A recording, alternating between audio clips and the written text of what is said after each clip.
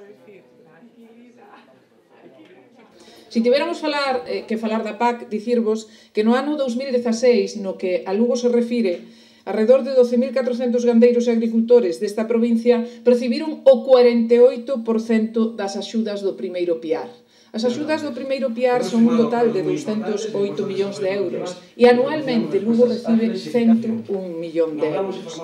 Do segundo piar da PAC na provincia de Lugo eh, percibiuse o 64,5% do total, é dicir, dos 30 millóns que tiñamos, 20 viñéronse para Lugo.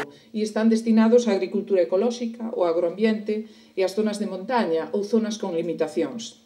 Procuramos facelo con maior celeridade posible, pero sabedes que non sempre doado. Sodes 33.000 os, pre os preceptores da PAC e un mínimo, sempre, temos un mínimo conseguido que sempre ampliamos que son 190 millóns de euros o ano.